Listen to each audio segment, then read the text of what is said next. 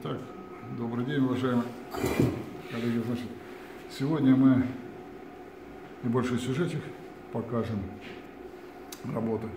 Сегодня будет проходить отладка, очередная отладка опыта холостого хода, но уже с реальным мотор-колесом. Значит, мы тут вчера разбирались с данными, которые выдает прибор Якогамма, нас смущали некоторые отрицательные величины. Потом мы делали запросы, смотрели, консультировались. Оказывается, все правильно, и все суммы, которые представляются даже с учетом отрицательных величин, они оказываются правильными. Нас смутило то, что были некоторые величины по, по одной из фаз с отрицательным значением. Но оказывается, это особенность работы Якогамы ВТ 1800 именно в этом режиме измерения. Поэтому вот, прошу обратить внимание на вот эту панель. Сейчас представлена эта панелька. Я сейчас возьму, чтобы можно было показывать через эти вещи. Немножко, чтобы пальцем не тыкать. Значит, смотрите. Вот колонка, это элемент 1, одна фаза, вот элемент 2, вторая фаза, элемент 3. Третья фаза, и вот здесь суммарное значение будет. Значит, нас в опыте холостого хода будет интересовать зависимость тока фазы от напряжения, а также будет интересовать суммарные потери P1. Это активные потери в двигателе, которые идут на вентиляторные потери, механические потери, в том числе потери в подшипниках. Вот, и этот самый, еще потери в стали будут у нас идти, потери в меди, ну и, соответственно, во всей схеме коммутационной это провода от трансформатора и до не от трансформатора, от Якогавы до двигателя, потому что те, которые на входе в кабеле у нас потери ну, практически не учитываются, хотя, в принципе, напряжение будет в некоторой степени просаживаться. Но там достаточно толстый кабель стоит и погрешность минимальная. Но все равно это только первые прикидочные, пока что это не тестовые, не эталонные, потому что соединения, которые выполнены временные, не совсем устраивают.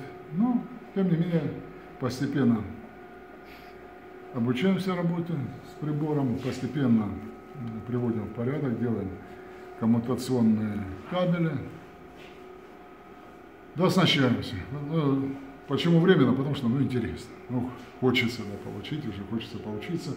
Ну, а время требуется для подготовки кабелей, заделки наконечников, концевых, э, изолирующие всевозможные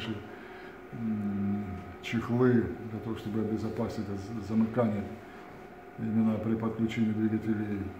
Ну, поэтому -то такая работа идет постоянно. Значит, сейчас Сергей Александрович подготовит, запустит, и в процессе измерения мы будем снимать значения, те, которые будут здесь э, у нас отображаться в зависимости напряжения, тока от напряжения. И в динамике мы вам все это покажем. Потом мы сделаем обработку этих данных и определим, какое же оптимальное напряжение номинальное для этого мотор колеса при питании током частотой 50 Гц. Пока все. Приступаем к работе. Мы питание сейчас осуществляем от этого латера регулирования, да? С латером по а то 380 заходит сюда. Вот вход вот он. А это идет на выход. Выход к выходу подсоединен трансформатор 380 на 36, и уже с трансформатора у нас уходит на Якогаву, и с Якогавы у нас переходит на колесо. Значит, сейчас положение. Ну, вот, подаем напряжение сюда, сейчас напряжение включено. Включаем выход. Включили. Все, у нас напряжение подалось на двигатель, на мотор колесо. Начинаем снимать данные.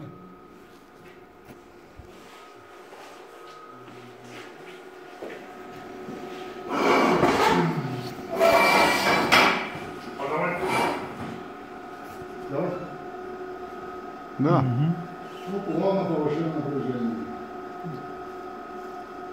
Они вот здесь? Да. Вот так, 13 ампер. 1,7, 1,8, 2, Три. 2, 2,38. 2,38 вольта, колесо пошло. 3 вольта.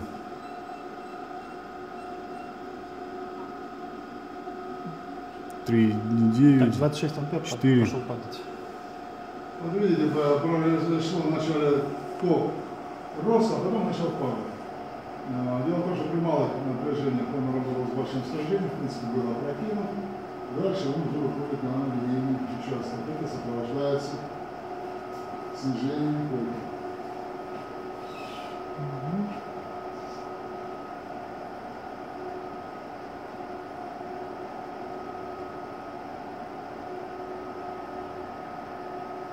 Ну, теперь растет ток. Ну, это уже мы идем на повышение индукции воздушных рабочих дозоров.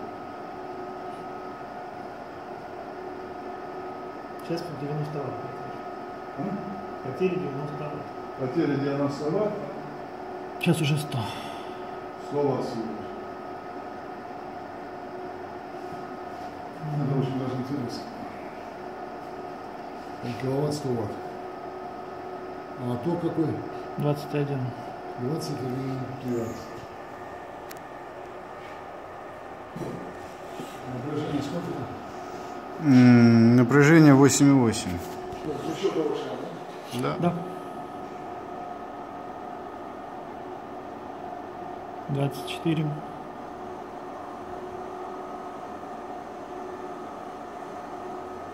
Двадцать шесть, Ну, до 40 ампер, до 40 до 50 ампер. Ну да. 30, 31.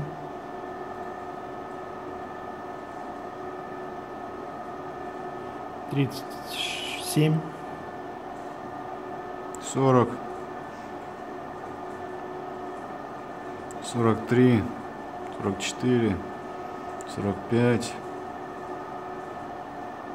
Сорок шесть. 47.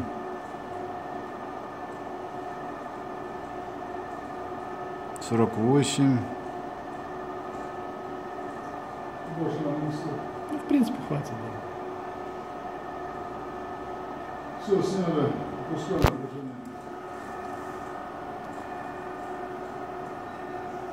Опускаем напряжение.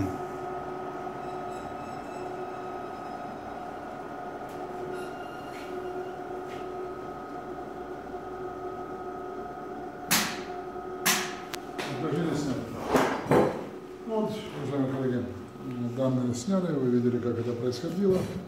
Все очень просто, информации очень много, все это шло достаточно быстро. Теперь можно данные обрабатывать.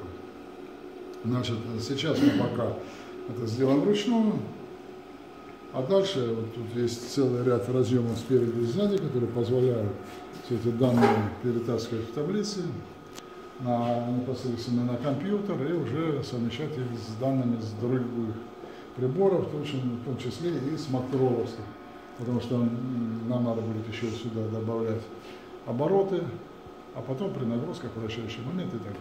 Но это уже будет следующим этапом. Это уже при снятии механических характеристик мы это будем проделывать. Но перед этим мы сделаем еще один опыт, но только не сегодня.